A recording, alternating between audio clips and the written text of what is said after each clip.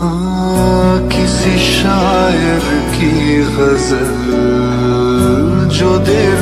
को सुखों के पल